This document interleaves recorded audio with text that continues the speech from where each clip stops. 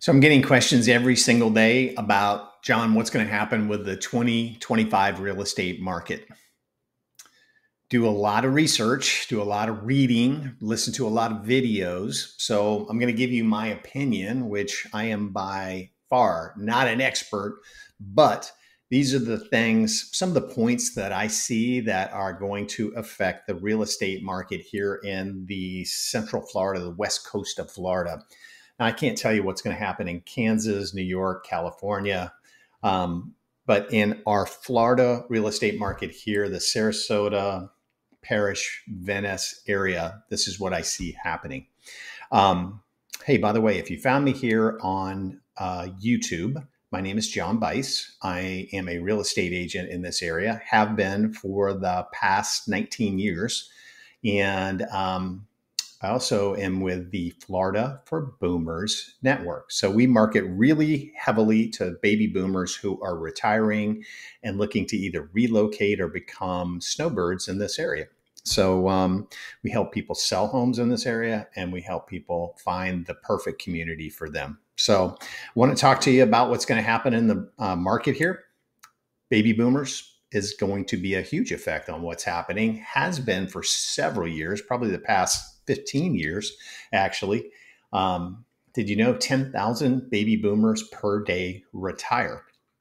I believe that's going to go on for 10 more years um, at least. And um, some baby boomers, like myself, may never retire.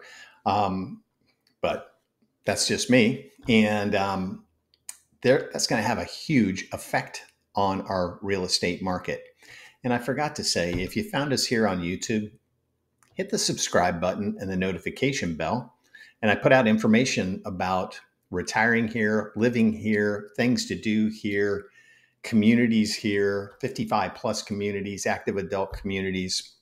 Do it on a weekly basis. So it's free information. And I try to be very to the point about what's really going on in the real estate market. So again, subscribe, hit the notification bell. So yeah, baby boomers retiring and coming here it's had a huge effect on our market for quite a while.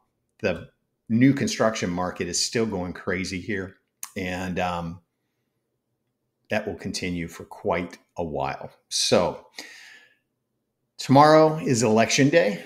That's going to have a huge effect.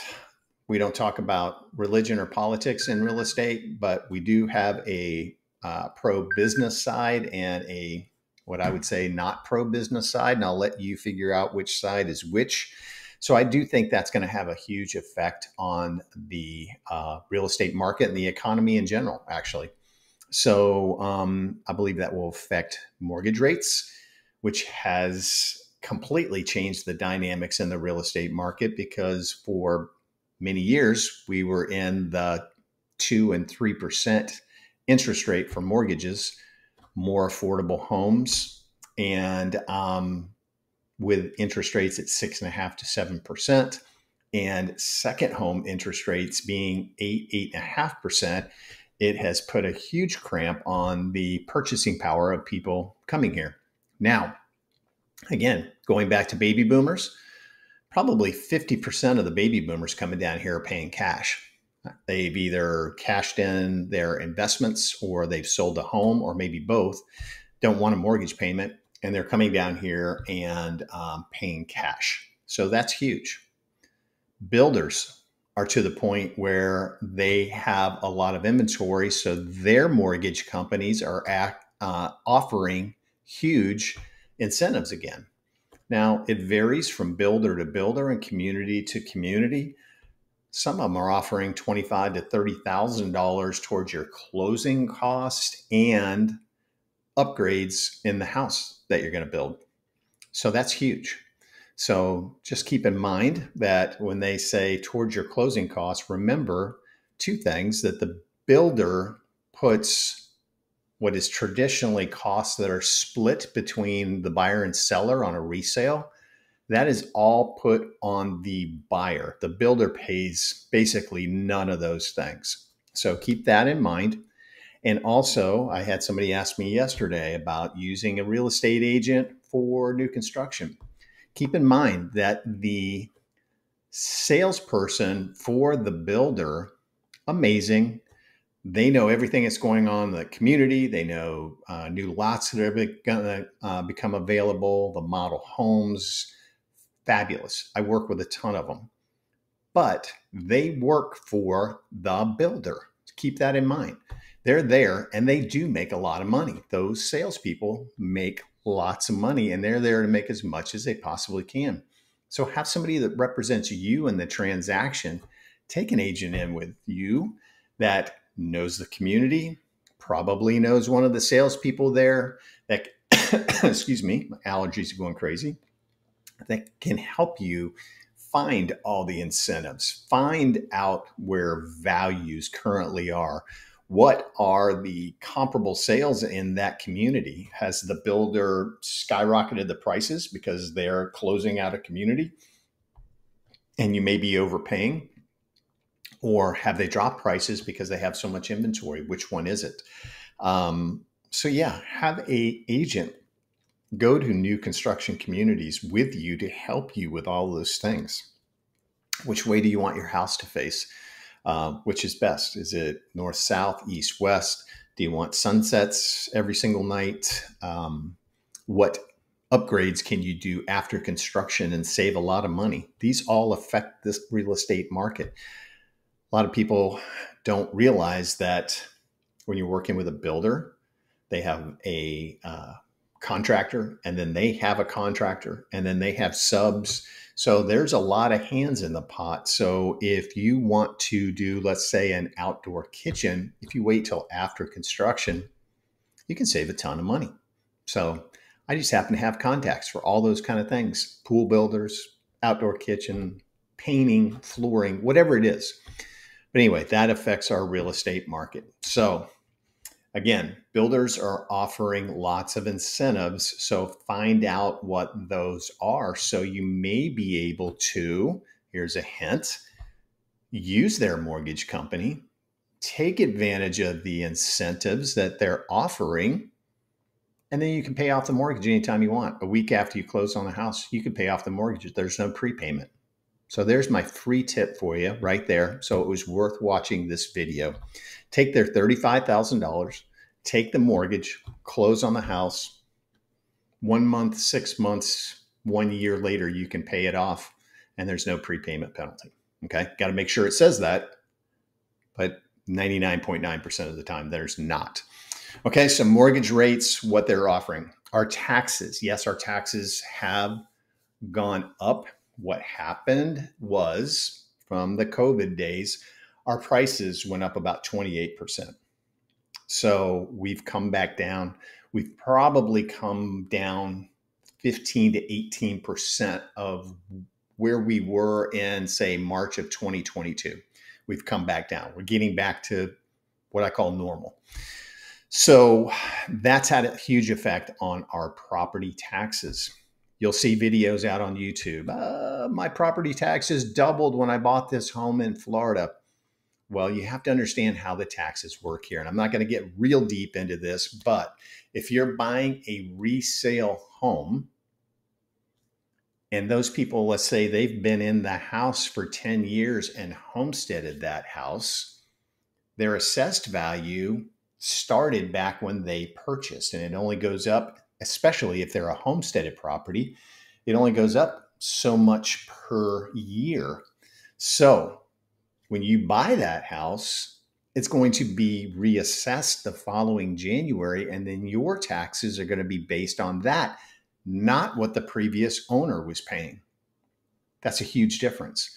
Some of the videos I watch on YouTube are talking about new construction. Oh my property taxes went up by $8,000 from what I thought they were going to be. Well, let's say you have a house, this is 2024, and you have a house that's going to be finished in uh, March of 2025. Okay. So it shows, I've got one right now where it shows the property taxes of $1,200 a year on a home in a Del Webb community. Well, you know that's not right. All right. So what happens is when that home is completed, the following January, that home will be assessed and the new tax rate will come out. Okay, so yes, it's going to go from $1,200 on vacant land because there's not a completed home there. And then it's going to be reassessed, and your taxes might go up to $6,000 or $7,000, depending on the cost and the size of the house. So that's what they don't tell you in some of those videos from these guys that are from out of state and telling you not to move to Florida because your taxes are going to go up by $7,000. I am going to tell you about homesteading real quickly. Again, a huge effect on the market. If you move here the day after you buy a house, you can go down and get a Florida driver's license. If you're going to homestead here and make this your residence, get a driver's license, register to vote, and homestead the property the day after you buy a house. You don't have to be here for six months or anything like that. The day after, you can do that. Now, you can't keep your house in New York. I don't even know if New York has homesteading, so I won't get into that. But you can't keep your house up there as a primary residence and come down here and try to make this your primary residence. You can't do that. That's a huge crime now. So people were doing that a lot. Um, so, yes, the day after you buy, you can homestead, and that keeps your property taxes from going up more than 3% a year. They won't go up that. My example we bought this house in November of 2018. My property taxes were $4,400.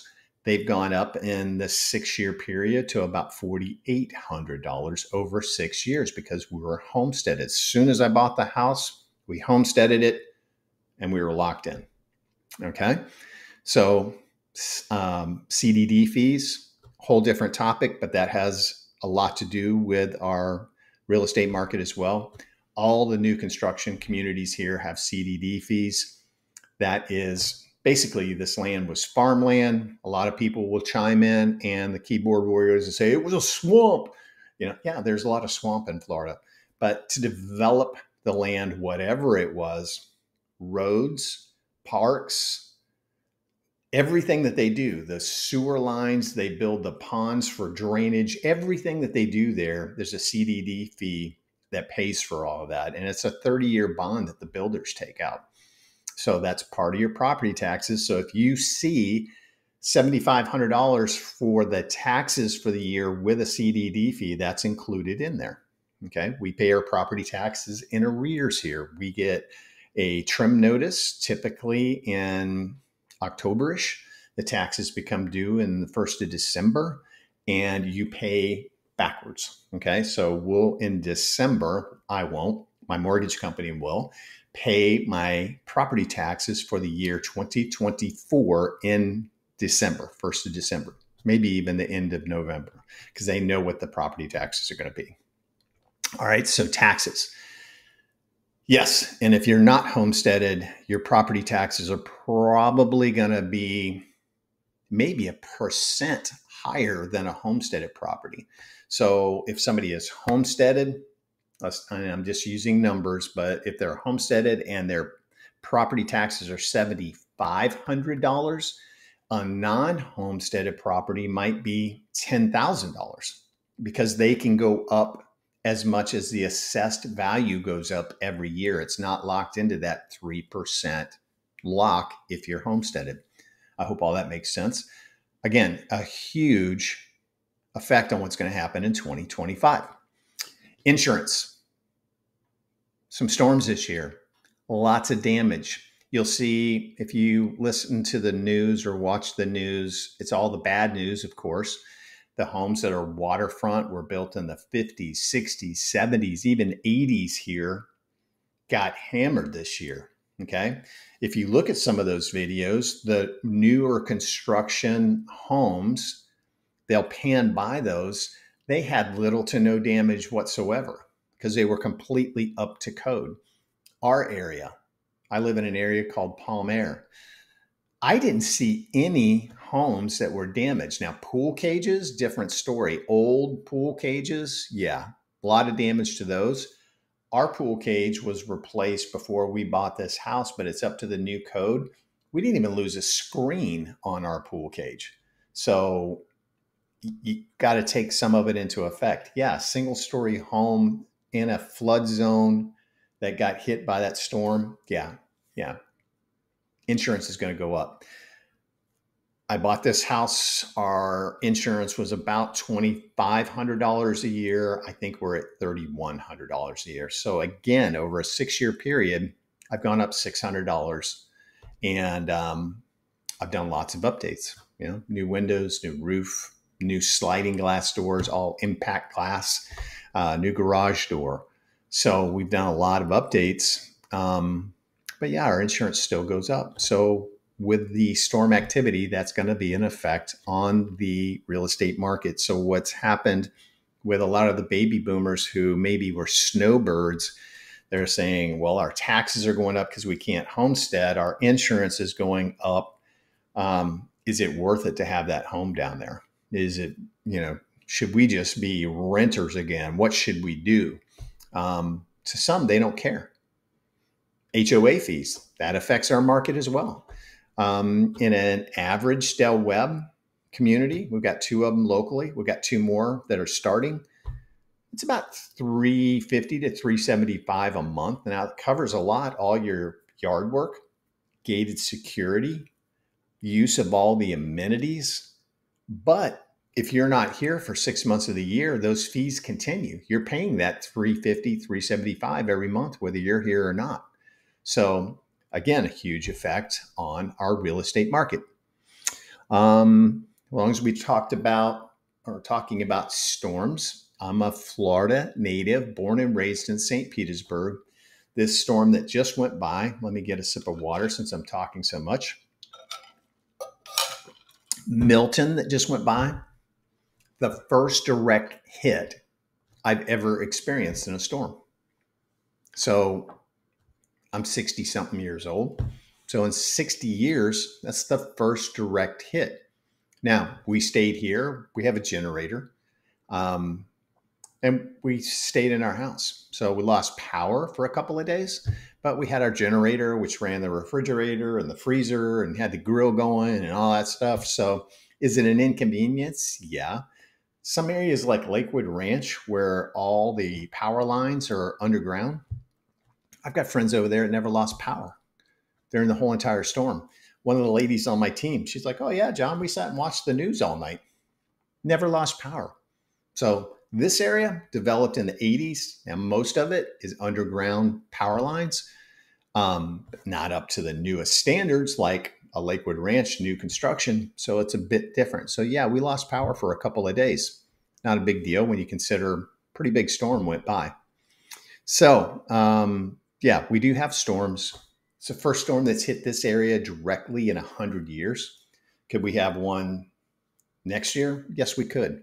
But again, state of Florida is pretty big area. And we have so much coastline from Galveston, Texas, all the way through, you know, the Georgia coastline, South Carolina, North Carolina. My son's in North Carolina. It gets some, you know, storm activity up there. Um, obviously not as much as we do in Florida, but still get some up there. So that's happened. Inventory levels, huge effect on the 2025 market. Our resale inventory went from in 2022 to basically nothing. We're past six months of inventory, and that's considered normal or equilibrium, six months of inventory. So we're probably past that right now. The builders have inventory, lots of it. So they caught up. They had waiting lists for homes. So they caught up. The supplies caught up. The work caught up. So it wasn't the lack of supplies it was the demand for the supplies really and the demand for the workers to build the houses so you have the contractors then you have the subs who have subs and there just wasn't enough people to go around to do all the work that they needed done. So they've caught up. The Pulte's, the Neal homes, they've all gotten back to where they want to be. They know how many homes they're building per month. So that's a good thing. But we do have lots of resale inventory. So people, especially people who um, are in communities that are near new construction, that's a big deal because people are looking at a new construction home or let's look, my home was built in 1983. So you have to understand what you're going to undertake when you buy a home from 83. What has been updated, what hasn't been updated. I can tell you the interior of my home had been updated. the things on the outside, windows, sliding glass doors, the roof, not so much. Okay. That's been a lot of money. Okay. So we knew that coming in and we knew we would do it as we went along. But again, that's part of the market. So you can get a better deal on a uh, resale home. Builders have their price, which is their price. And, um, you know, that again, huge effect on the market. So it has shifted from a huge uh, seller's market, kind of got to equilibrium. And now I would say you're more in a buyer's market now just because of the inventory. Again, using the Del Webbs that we have here, Del Webb of Lakewood Ranch, all resales. I looked the other day, I think there's 29 homes on the market there. The Del Webb in Parrish, it's called Del Webb Bayview. Um, there's a couple of resales there, and the rest are the builder inventory. I think there was 40 homes on the market. So a buyer has the upper hand there.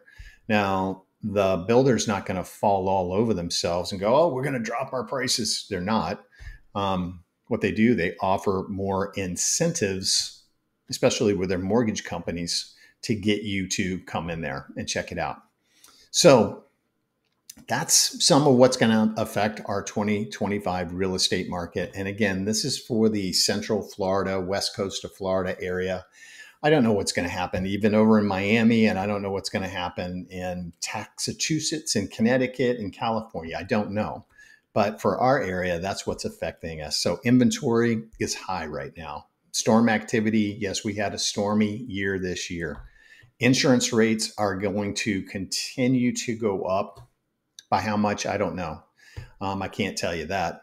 Taxes depends. Are you homesteaded or non homesteaded? Um, mortgage rates, wherever that heads to, that's going to be a huge effect on the market because a lot of those people were sitting on the sidelines because they had a three and a half percent mortgage um, rate have tried to wait out the market and finally said, never mind, I'm selling, I'm getting out, I'm, I'm done. Whether they're going to get another mortgage or not, they're, they're doing it. So, and we do have an um, aging population here. I live in an area, Palm Aire, that the population, it, we used to joke about Palm Aire saying it's where old people's parents live. And all of a sudden I blink my eyes and I'm an old people now. so, anyway, but there's some elderly people here that are getting out. They've had enough they're moving into retirement communities, whatever it is, moving closer or with family. So they're selling. So again, our inventory is growing. So um, if I can answer any questions for you, you can email me, you can call me, you can text me. Um, I will tell you, I get a lot of responses to videos. So I typically don't even look at the things that are posted on there. Keyboard warriors, you know, so I don't I don't. So just email me. There's a Calendly link if you're watching this on uh, YouTube. You can use the Calendly link and you can schedule a phone call, Zoom call, or an in person meeting with me. And I'm happy to answer any questions for you about the real estate market. Happy to help you sell a home, buy a home, invest in real estate. Been doing this a long time. I can answer any questions that you have. I look forward to hearing from you, and I hope I'll be able to help you find a home here in paradise. Okay? Take care. God bless. And I hope to hear from you soon.